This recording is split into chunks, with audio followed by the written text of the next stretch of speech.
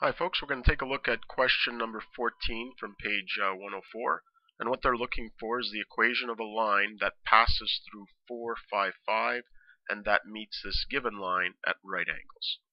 Okay, now they don't specify uh, what uh, version of the line they want so we can uh, pick whatever we like. Uh, but let's take a look at the question here. So we know that if we want to find a line, in this case here I'll find it in vector and parametric form, uh, we need a point on the line and we need a direction vector. So I notice that the line passes through 455, so we already have our point on the line, which is denoted by this notation, R naught. So while 455 is the point on the line, just keep in mind that R naught actually represents the vector from the origin to 455. Okay, so now we have to go about trying to find uh, the uh, direction vector of the line we're looking for. Okay, so I know that it meets this line here at right angles. Um, that's really all the information I have. So I'm going to start by drawing a diagram here to see if it leads me to an answer.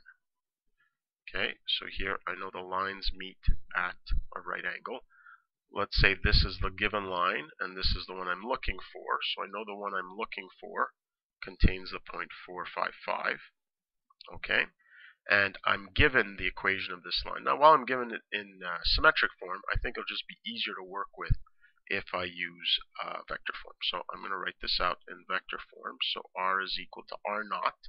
So remember that the given point in the symmetric form is found in the numerator, or the numerators.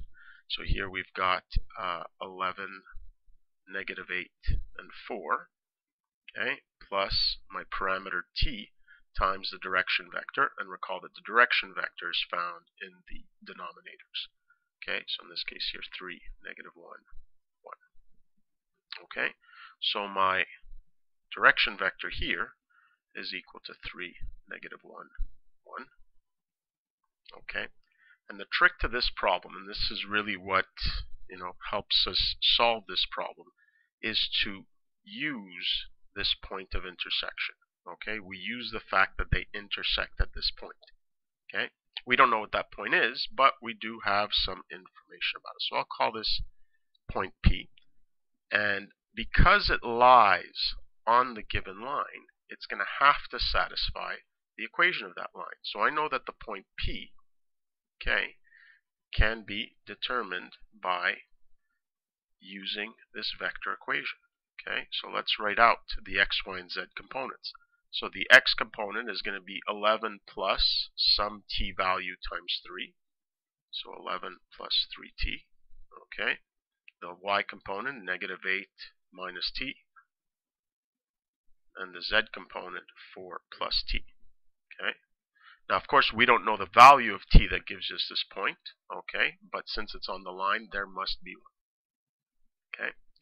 So we have this point of intersection, but what I need to do is I need to find a direction vector on the line that I'm looking for. And I realize that if I join these two points, I'll have a vector on the line, which will be, of course, parallel to that line.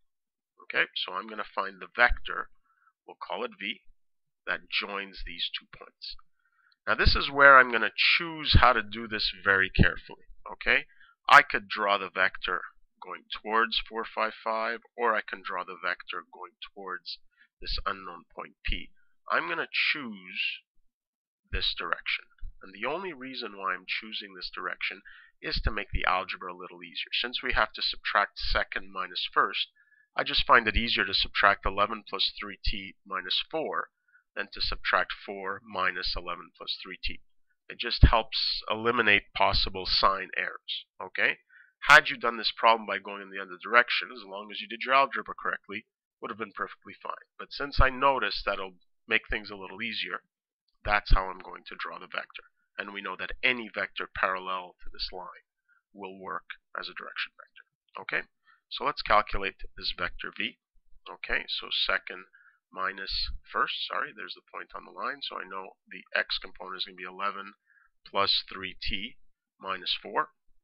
Okay, the y component is going to be negative 8 minus t minus 5, and the z component is going to be 4 plus t minus 5. Okay, we'll clean this up here. So we've got 3t, 11 minus 4 is 7. Here we have negative t, negative 8 minus 5 is minus 13. And here t, 4 minus 5 is negative 1. Okay, so this is the vector v, okay, which is parallel to the line I'm looking for. Now I'm going to use the fact that this vector must be perpendicular to the direction vector of the given line. And of course we know that if two vectors are perpendicular, their dot product is equal to 0. So what I'm going to do now is I'm going to find the dot product of m and v, and I know that because they're perpendicular, that must be equal to 0. Okay, so let's do that here. So we have 3 times 3t plus 7, 3 times 3t plus 7, okay, then plus uh, negative 1 times negative t minus 13, so it's minus 1 times negative t minus 13, and then here we've got uh, plus, uh, 1 times t minus 1, so plus, well, 1 times t minus 1, and that has to be equal to 0. And the reason why this was useful is that now I'm left with an equation that has only one unknown, so I can just solve it. Okay, so let's uh, clean everything up here. So we have 9t plus 21, and then plus t plus 13, and then plus t minus 1 equals 0. So we have 9, 10, 11t. Okay, and then here we have 21, 31, 34, minus 1 is 33 equals 0, and so t is equal to negative 33 over 11, or negative 3. Okay. Now that we have the t value, remember what we're looking for. We're looking for the direction vector of the line that I'm looking for. So I have an equation here, or I have a uh, here I have a statement here that gives me the vector that I'm looking for in terms of t. So let's calculate that uh, v vector now that we have the t value. So let's stick that into here. So uh, 3 times negative 3. So negative 9 plus 7 is negative 2. And then here, negative negative 3. 3 minus 13 is equal to negative 10. And then here we have negative 3 minus 1 is negative 4. Okay? So we've now just found this vector parallel to the line I'm looking for, so it can act as a direction vector. Now I could use this vector here, or and what I'll call M2, I could use a simpler vector because I notice these are all divisible by 2. Can even get rid of all the negatives by dividing everything by negative 2. So if I do that, I end up with a simpler vector. I end up with 1, 5, and 2. And now I have this direction vector, plus I have the point 4, 5, 5. So I can now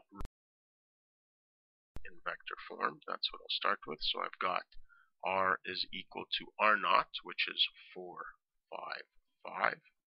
Okay, plus, now since I use t for the other line, I'll use s for this line here, times its direction vector, which is 1, 5, 2.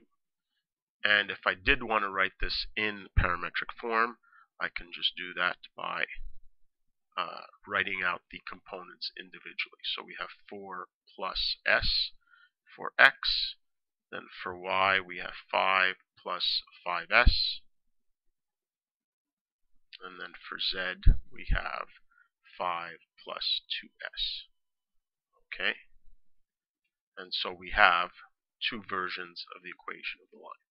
Okay? Now, if you had used this vector v as your direction vector, things would have looked a little different, okay? But it would have been equivalent. So let's just recap how we solved this problem. Okay, so first thing was to realize that to find the vector parametric equation, we needed a point, which we were given, and a direction vector. And it was a direction vector that needed a lot of the work. And the way we were able to do that was to use the fact that this point of intersection, while we didn't know it, we do know that it I could use the equation of the given line to write out an expression for that point, and then I could use that point with 455 to uh, create my direction vector for the line I'm looking for. And of course, folks, please remember that one of the key things we used to solve this equation was the fact that the dot product of two perpendicular vectors is zero. Okay, that's it for now.